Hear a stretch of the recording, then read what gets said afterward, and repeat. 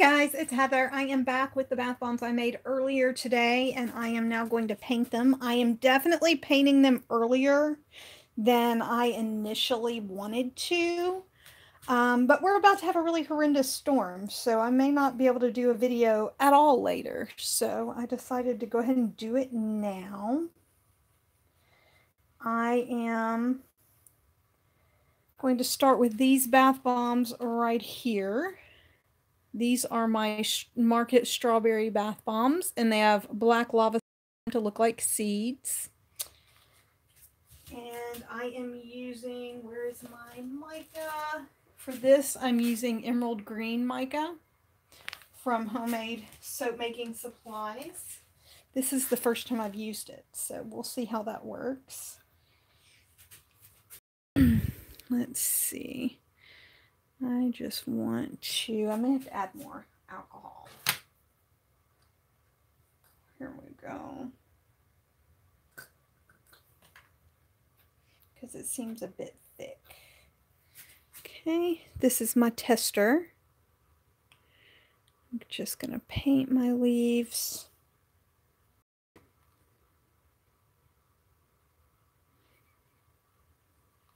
Right around like that. It's not perfect, but this is just my tester. Okay, rotate it.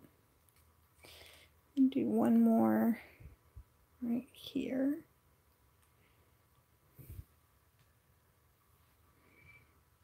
Ooh, I like this green. It's a really beautiful dark emerald. That's pretty. I like that.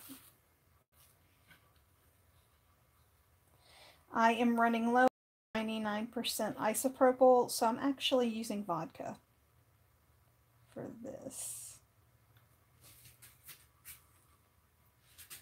Okay, I'm just going to do a couple of each one so you guys can see what I'm doing.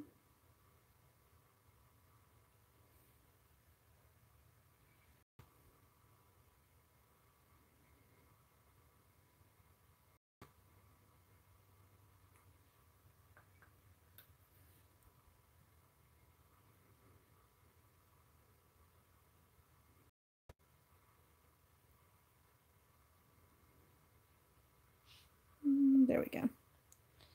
That's better. And using actual vodka, there is a little bit of a reaction, but the thing about that is what it will do is make it a little bit raised where the leaves are. And so that will puff up, which is kind of cool because that's what the leaves actually look like. They are taller than the strawberry. They don't lay flat.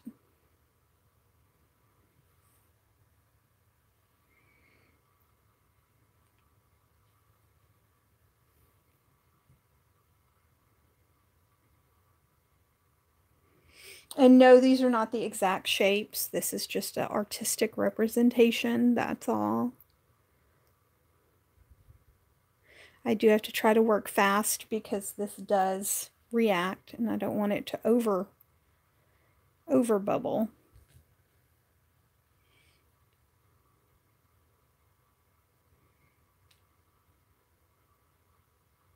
Because then it picks up bits of the bath bomb. And we don't want that. See, there we go. And then I just fill in the middle. And we have cute little strawberry bath bombs. Now sandalwood and shea, that's these pretty yellow ones here. I'm just going to do a gold line across the top of that because I want it to be simple but pretty.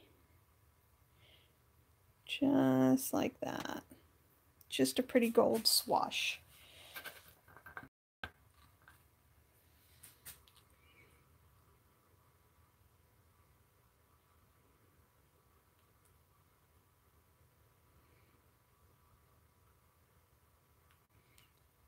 Just a pretty wash of color. And of course, when it dries, that won't matter. Let's see the pretty wash of color.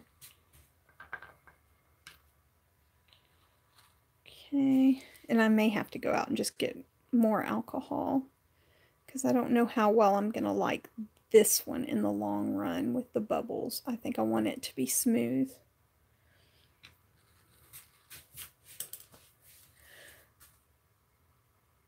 Breezy Meadows is going to be the same. I'm just going to do a pretty swash, you know, swath of color on it in pink.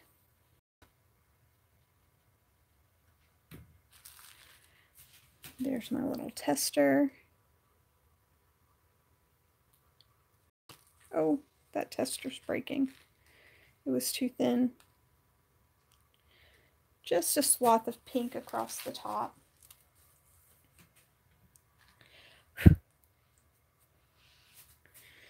Just like that. And then I may add more pink around the edges. We'll see as the time goes on. Now, these are my rose ones that you guys watched me make.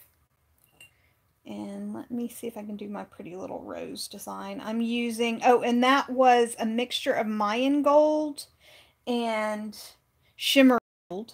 And the blue, and that was from uh, Nurture Soap. The other blue was sapphire blue mica from handmade soap making supplies because I'm doing some tests with their products right now. And I'm just going to do pretty little rose swirls all the way around it.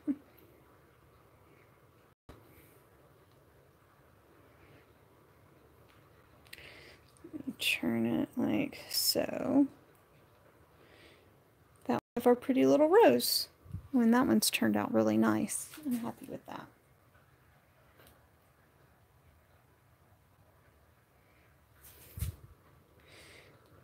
Just do the little design, go around.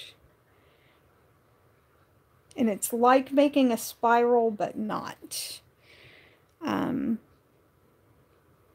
because if you look at a rose, that's really what a rose is, is a really beautiful spiral where the um, petals of the rose sort of circle themselves. And when it blooms, that beautiful spiral unravels.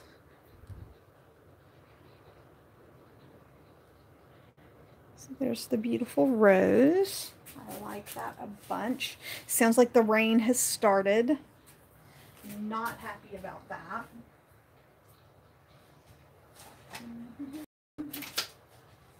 Okay, I am looking for a cute art stamp.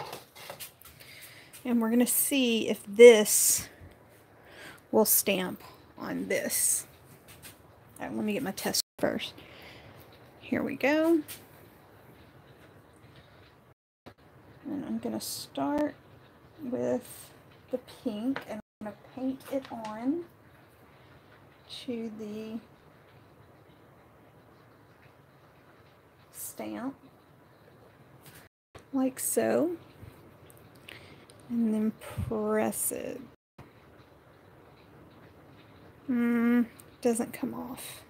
It does leave a little bit of a mark, but not enough. Let me see if I can do a little bit more of the actual paint and we'll try that again.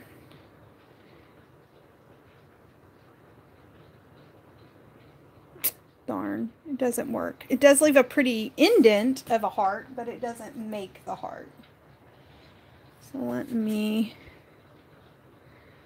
see if I can draw it on.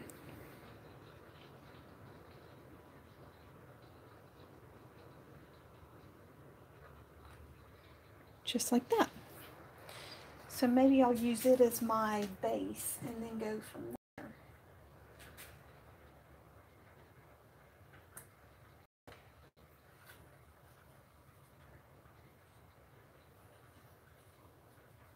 Okay, I'm stirring up some more color. And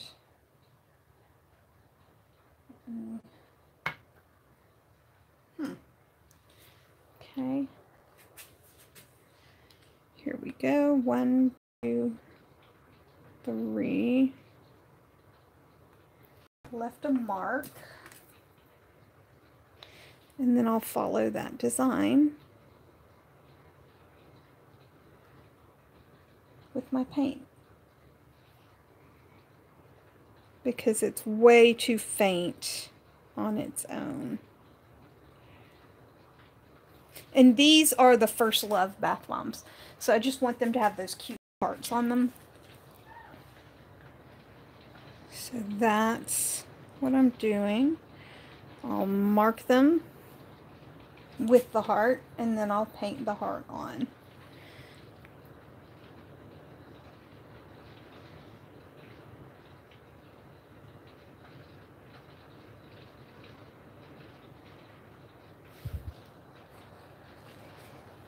I'm sorry if I'm reaching in front and you guys see my arm. I'm sorry. Stamped it on. And there's the first part. And here comes the bottom. There we go. Um, the peace and love, I think I'm going to try to do a peace sign on one half and a heart on the other. So half of a peace sign, half of a heart. But I'm not totally sure. And that's going to take a lot more time to do that. I may even have to sit down to do that. Pressed my stamp in and just following those lines to get a really beautiful, perfect little heart.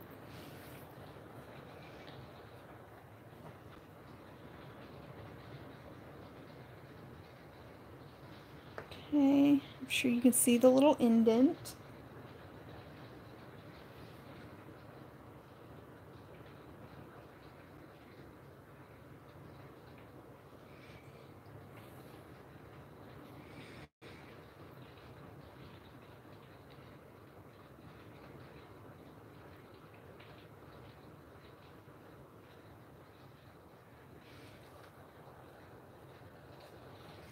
Hmm.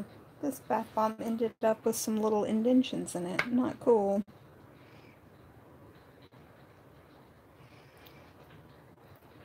I will say this, I do put a lot of work into these tiny bath bombs, but it's because I want the tiny bath bombs to be just as and enjoyable and sometimes it doesn't um, it doesn't always feel that way. And this is an artisan product. This is something that I spend a lot of time and energy and effort, and I want people to feel that. And so it's worth it to me to take this little bit of extra time to put a cute design on, on each bath bomb.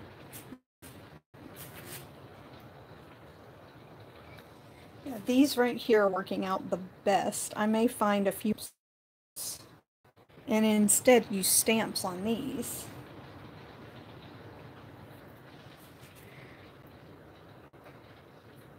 And then fill in the stamp indention. Because there's also much less of a reaction when I use the stamp. They're so sparkly. Sorry I'm reaching across you guys.